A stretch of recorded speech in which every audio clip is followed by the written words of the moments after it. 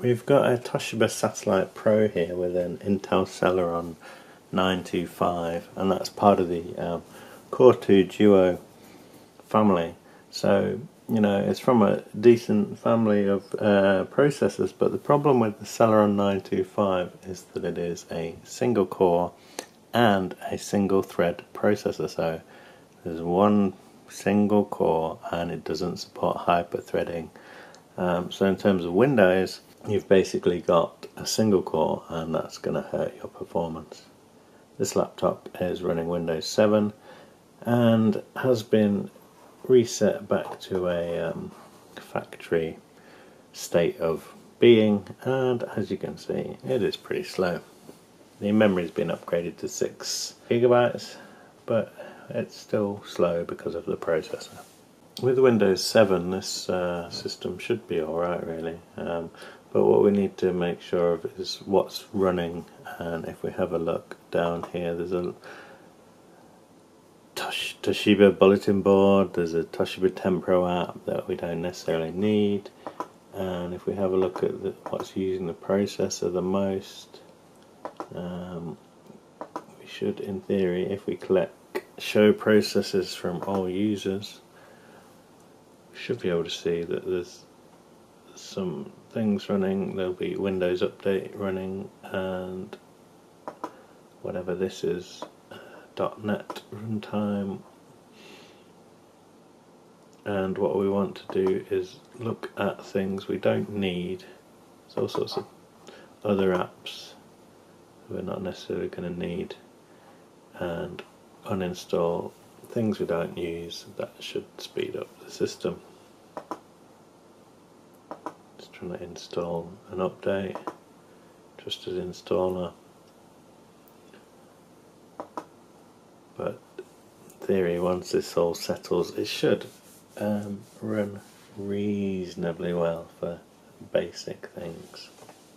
If you have a look in the control panel and go to uninstall programs um, there's so many Toshiba apps on here that you can't they don't even fit on the screen so they just fit on the screen. There must be 10, 20, 25 different Toshiba apps installed on here. So we're going to start by just removing as many of these as possible and that should speed up the system.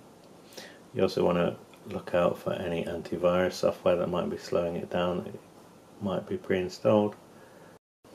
We're still uninstalling these Toshiba apps and uh, as we're doing that we're seeing the memory usage go down slightly.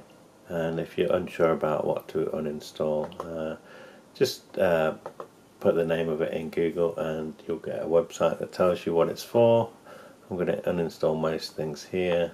I might just leave on the HDD SSD alert um, just so that we know when or if the hard drive ever has any problems I've installed lots of stuff. I've left Toshiba HD alert. I've left the recovery media creator. I've left the webcam app just in case someone wants to use the webcam app. And this TRO RMC launcher is to do with the recovery um, media creator or something like that. So I've left that on and we're at about 2 gigs of memory usage so I'm going to restart and see if we've got a quicker system. We've restarted, uh, we've got far fewer things here and we're only using about 930 megabytes of memory. Before it's around 1.6 to 2 gigabytes so this should be generally a snappier system. And um, I may also look at removing this um, game here that we don't necessarily need and cleaning up a few of these um, desktop icons we don't need. This is the speed of the uh, hard drive in there. As you can see, it's not very quick, but um, that's what you get with uh, hard drives.